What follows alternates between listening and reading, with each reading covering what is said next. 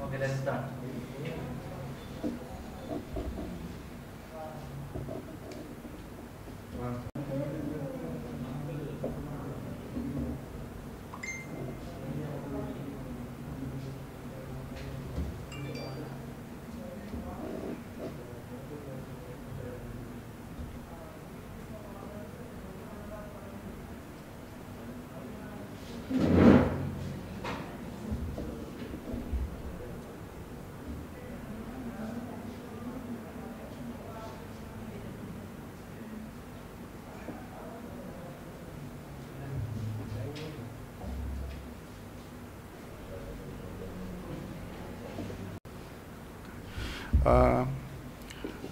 இங்கு வருகை தந்திருக்கின்ற எல்லா ஊடக நண்பர்களுக்கும் முதற்கண் காலை வணக்கத்தை தெரிவித்து கொண்டு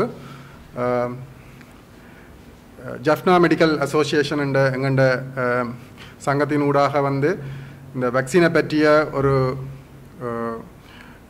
ஒரு அவேர்னஸ் ப்ரோக்ராம் அண்டு அவைகளுக்கு வந்து மக்களுக்கு வந்து இந்த வேக்சினை பற்றி சில தவறான அபிப்பிராயம் இருக்கின்றது.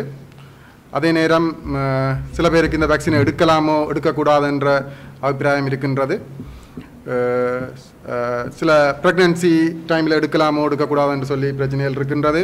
மற்றது விதம் விதமான வேக்சின்கள் வருகுது அதை பற்றி எடுக்கலாமோ எந்த வேக்சின் சிறந்தது என்றதை பற்றிய ஒரு தவறான அபிப்பிராயம் இருக்கின்றது. அப்போ இது சம்பந்தமாக கதைப்பதற்கு வந்து எங்களோட ஜப்னா மெடிக்கல் அசோசியேஷனால் வந்து இந்த ஊடக சந்திப்பு வந்து அரேஞ்ச் பண்ணப்பட்டிருக்கின்றது. நான் டாக்டர் கஜந்தன் பொது வைத்திய நிபுணர். அதோட வந்து எங்களோட டாக்டர் பேரானந்தராஜா பொது வைத்திய நிபுணர். டாக்டர் கேதீஸ்வரன் பொது வைத்திய நிபுணர். டாக்டர் ஸ்ரீதரன் மகப்பேற்றியல் அண்ட் பெண் மருத்துவ நிபுணர். டாக்டர் ரஜந்தி மைக்ரோபயாலஜிஸ்ட் இவ்வளோ பேரும் வந்து உங்களுடைய சந்தேகங்களை மக்களுடைய சந்தேகங்களை வந்து நிவர்த்தி செய்வதற்காக நாங்கள் இங்கே கூடியிருக்கின்றோம்.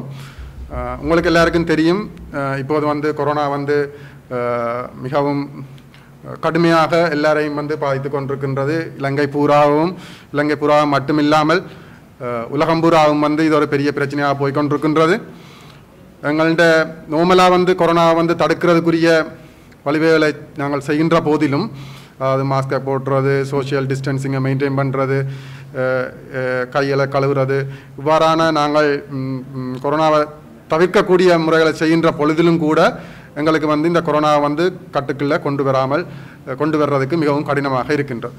அப்போ இந்த கொரோனா கட்டுக்குள்ளே கொண்டு வர்றதுக்குரிய கடைசி ஆயுதம் வந்து எல்லாருக்கும் வந்து வேக்சினை வந்து ஏற்றுவது தான் அப்போ இந்த வேக்சினை ஏற்றி அவர்களுக்கு வந்து ஒரு நிற்பிடனத்தன்மையை அடைந்தால்தான் இந்த கொரோனா வந்து நாங்கள் கட்டுக்குள்ளே கொண்டு வர முடியும். அதுவும் கிட்டத்தட்ட இந்த ஆராய்ச்சிகளில் சொல்லுகின்றார்கள் கிட்டத்தட்ட சிக்ஸ்டி டு செவன்டி பர்சன்டேஜ் வந்து எங்கண்ட சமூகத்திலே வந்து இந்த கொரோனாக்கு எதிரான நிற்பிடனம் வந்தால்தான் மற்றவர்களுக்கு வந்து பரவுவதற்கான சந்தர்ப்பங்கள் வந்து குறையக்கூடியதாக இருக்கும். ஆகவே எங்களுக்கு கிடைத்துள்ள இந்த அரிய சந்தர்ப்பத்தை வந்து நாங்கள் கவனமாக பயன்படுத்தி எல்லோரும் வந்து வேக்சினை ஏற்றுவதன் மூலம் இந்த சிறந்த நிற்பிடனத்தை எங்கள சமூகத்தில் உருவாக்கி அதன் மூலமாக இந்த கொரோனாவை வெற்றி கொள்ள வேண்டிய நிலைக்கு ஆளாகி இருக்கின்றோம். நான் மேலும் நேரத்தை வீணடிக்காமல் அஹ், டாக்டர் பேரானந்தராஜா சார் அவர்கள் இப்போ பொது வைத்திய நிபுணர் அவர்களை இந்த வேக்சின் எவ்வளவு பாதுகாப்பானது அதனை எடுக்க வேண்டியதன் அவசியத்தை கூறுவதற்காக அஹ், பேரானந்தராஜ் அவர்களை அழைக்கின்றேன். நன்றி. அனைவருக்கும் இனிய காலை வணக்கம். நம் பொது வைத்திய நிபுணர் டாக்டர் தம்பி பிள்ளை பேரானந்தராஜா. இன்று உலகளாவிய ரீதியில் கோவிட் நைன்டீன் கொரோனா வைரஸின் தாக்கத்தினால் பல நோயாளர்கள் உருவாக்கப்பட்டிருக்கிறார்கள். அதன் மூலம் பல இறப்புகள் ஏற்படுகிறது. இதை தவிர்ப்பதற்கு நாங்கள் பரவுதலை தடுப்பதற்கான நடைமுறைகளை செய்து கொண்டு அதைவிட முக்கியமானது இந்த நோய் எதிர்ப்பு சக்தியை உருவாக்குகின்ற வேக்சின் போடுவதுதான் மிக முக்கியமான செயற்பாடாக காணப்படுகிறது. பல மேலத்தைய நாடுகள் அமெரிக்கா இங்கிலாந்து போன்ற நாடுகளில் வேக்சினேஷனை அவர்கள் அறுபது சதவீதம் செய்தபடியால் இப்பொழுது இந்த நோயின் தாக்கம் அங்கு பெருமளவு குறைக்கப்பட்டிருக்கிறது. இதேபோல்தான் இலங்கையிலும் இந்த நோயின் தாக்கத்தை குறைப்பதற்கு இந்த வேக்சினை நாங்கள் கட்டாயம் போட வேண்டி உள்ளது. ஆகவே நீங்கள் இந்த வேக்சின் பற்றி தேவையில்லாத பல கருத்துக்கள் மக்களிடையே உலாவிக் கொண்டிருக்கிறது. அவற்றை மறந்து இந்த வேக்சின் போடுவதனால் பாதிப்பு பெருமளவில் ஏற்படாதென்றும் இதனால் நாங்கள் நோய் வராமல் தடுக்கிற சக்தியை எங்கள் கூட்டிக் கொள்கிறோம். ஆகவே நீங்கள் அனைவரும் பயமில்லாமல் இங்கு தரப்படுகின்ற வேக்சினை நீங்கள் போட்டுக்கொள்வதற்கு முன்னின் முன்னிற்க வேண்டும். யாழ்ப்பாணத்தை பொறுத்தவரையில் இப்போ முதலாவது கட்டமாக வேக்சினேஷன் துவங்கப்பட்டிருக்கிறது. அது ஐம்பதினாயிரம் வேக்சின் இங்கு வந்தது. கிட்டத்தட்ட தொண்ணூற்றி ஒன்பது விதமான வேக்சின்கள் போடப்பட்டிருக்கிறது. ஆகவே மக்களுக்கு வேக்சினின் தேவை நன்றாக புரிந்துள்ளது. ஆகவே இனிவரும் காலத்திலும் இந்த வேக்சினை நாங்கள் போடுவதற்கு முன்னின்று அதை போட வேண்டும் என்பதை உங்களிடம் கேட்டுக்கொள்கிறோம். இந்த வேக்சின் போடப்பட்டு இங்கு இப்பொழுது சினோஃபார்ம் வேக்சின் கொடுக்கப்படுகிறது. முதலாவது டோஸ் போட்டவர்கள் மூன்று கிழமைக்குள் ரெண்டாவது டோஸை போடுவதனால் எண்பது வீதமான கட்டுப்பாட்டை நாங்கள் ஏற்படுத்திக் கொள்ளலாம். இந்த வேக்சினை போடுவதனால் இந்த நோயினால் ஏற்படுகிற பாரதூரமான விளைவுகள் ஏற்படாது. இந்த வேக்சினை போடுவது நாங்கள் அநேகமாக இலங்கையிலே முப்பது வயதுக்கு மேற்பட்ட அனைவருக்கும் இந்த வேக்சினை போடச் சொல்கிறார்கள். உங்களுக்கு ஏதாவது பிரச்சனைகள் இருந்தால் நீங்கள் போடும் இடத்தில் அதை அறிவித்தால் அவர்கள் அதற்குரிய விளக்கங்களை கொடுப்பார்கள். அநேகமாக இந்த வேக்சின் ஆல் பெரிய பாதிப்புகள் ஏற்படுவதில்லை. சில நேரம் போட்டு அன்று அல்லது அடுத்த நாள் காய்ச்சல் உடல் உழைவு மூட்டுக்கள் நோக்கள் ஏற்படலாம். இது ஒரு பாரிய பிரச்சனையாக வராது.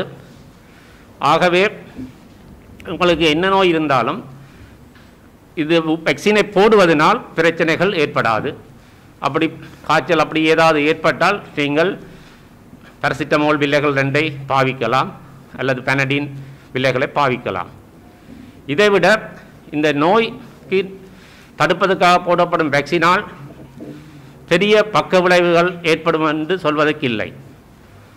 ஆக ரெண்டே ரெண்டு விஷயம் சொல்கிறார்கள். உங்களுக்கு முன்பு வேத வேறு மருந்துகளுக்கு அல்லது உணவு வகைகளுக்கு அல்லது ஏதாவது விச ஜந்துக்கள் கடித்ததின் போது அனஃபிலாட்டிக் ஷாக் என்று சொல்லுவோம் அதாவது நீங்கள் சுய நினைவு இழந்து மயக்கத்தில் போய் உங்கள் பிளட் ப்ரெஷர் குறைந்து மூச்சடை கஷ்டம் அப்படியான விளைவுகள் முன்பு ஏற்பட்டிருந்தால் இந்த வேக்சினை போடுவதற்கு நாங்கள் உங்களுக்கு வேக்சின் போடுற இடத்துல கூறினால் அப்படியானவர்களுக்கு போதுமான பாதுகாப்புடன் போடுவார்கள் அல்லது சில வேளைகள் தவிர்க்கப்படலாம். மற்ற சின்ன சின்ன அலர்ஜி வருத்தங்கள் இருக்கிறவர்களுக்கு இதால் பிரச்சனை இல்லை. ஒரே ஒரு இது அனஃபிலாட்டிக் ஷாக் வரக்கூடியவர்கள் முந்தி வந்திருந்தால் அவர்களுக்கு கொஞ்சம் கவனம் எடுத்து செய்ய வேண்டியிருக்கும். மற்றும்படி எல்லோரும் இந்த வேக்சினை போடலாம். மற்றது உங்களுக்கு காய்ச்சல் இருந்தால் கிட்டத்தட்ட முப்பத்தெட்டு தசம் அஞ்சு சென்டிகிரேட் அளவில் காய்ச்சல் இருந்தால் காய்ச்சல் இருக்கும்போது வேக்சினை போடுவது தவிர்க்கப்படுதல் நல்லது. நீங்கள் பின்னர் காய்ச்சல் மாறின பிறகு அந்த வேக்சினை எடுக்கலாம். இந்த ரெண்டும் தான் முக்கியமாக போட வேண்டாம் என்று சொல்வதற்கான சாத்தியக்கூறுகளாக இருக்கிறது. மற்றபடி உங்களுக்கு வேறு நோய்கள் இருந்தால் என்ன? Diabetes pressure lung disease chronic obstructive disease COPD அல்லது அஸ்மா எப்படியான வருத்தங்கள் இருந்தாலும் இந்த வேக்சினை போடுவதால் உங்களுக்கு நெய் நோய் எதிர்ப்பு சக்தி அதிகரிக்கிறது. அதனால் உங்களுக்கு ஏற்படும் நோயின் தாக்கம் குறைவடைகிறது. நீங்கள் அது பற்றி பயப்படாமல் இந்த வேக்சினை நீங்கள் போட்டுக்கொள்ளலாம். ஆகவே மக்கள் இனிவரும் காலத்தில் இந்த வேக்சின் போடுவதால் ஏற்படும் பயத்தை தவிர்த்து அனைவரும் உங்களுக்குரிய காலத்தில் அறிவிக்கப்படும் போது அந்த இடத்துக்கு சென்று உங்களுக்குரிய வேக்சினை பெற்றுக்கொள்வது சால சிறந்தது என்பதை கூறிக்கொண்டு விடைபெறுகின்றேன். நன்றி. அவர் வேக்சின் எவ்வளவு பாதுகாப்பானது என்பதை பற்றி ஒரு அட்வைஸை உங்களுக்கு கூறி சென்றுள்ளார். அடுத்ததாக வந்து உங்களுக்கு தெரியும் இந்த வேக்சினில் வந்து வெவ்வேறு விதமான வேக்சின்கள் வந்து வருது முதல் வந்து உங்களோட ஆக்ஸ்ஃபர்ட் அல்லது இந்தியாவிலேருந்து வந்த கோவிஷீல்டு என்ற ஒரு வேக்சின் வருது. இப்போ பார்த்தீங்கன்னு சொன்னால் சைனோஃபாம் என்ற வேக்சின் வருது சைனாவிலேருந்து. அதை போல் உங்களுக்கு ஃபைசர் என்ற வேக்சின் வந்து இப்போ அமெரிக்காக்காரங்கள்டேருந்து வரப்போகுதுன்னு சொல்லினோம். அப்படி ஒவ்வொரு பேர்கள் வருது. அப்போ அடுத்த ஸ்புட்னிக்னு சொல்லி சொல்லினோம். ரஷ்யாவிலேருந்து வரப்போகுதுன்னு சொல்லி சொல்லினோம். அப்போ மக்களிடையே ஒரு சின்ன ஒரு குழப்பம் ஒன்று இருக்கின்றது. எந்த வேக்சின் நல்லது? எதை போடுறது? வெயிட் பண்ணலாமோ? அது வரும் வரைக்கும் வெயிட் பண்ணி எடுப்போமோ? நான் முதல் அந்த வேக்சின் எடுத்து போட்டேன் இது எடுக்கலாமோ? அப்படியான சின்ன சின்ன பிரச்சனைகள் வந்து இருக்கின்றது. அப்போ எங்களுக்கு மக்களிடையே வந்து இந்த வேக்சினை பற்றிய ஒரு புரிந்துணர்வும் அதன் டைப்ஸ் வந்து சொல்லினோம். என்னென்ன வகையான வேக்சின்கள் இருக்குது? அதில் எப்படி எடுக்க வேண்டும் என்றதை பற்றிய ஒரு விளக்கத்தை தருவதற்காக டாக்டர் ரஜந்தி கன்சல்டன்ட் மைக்ரோபயாலஜிஸ்ட் அவர்களை வருமாறு அழைக்கின்றேன். நன்றி.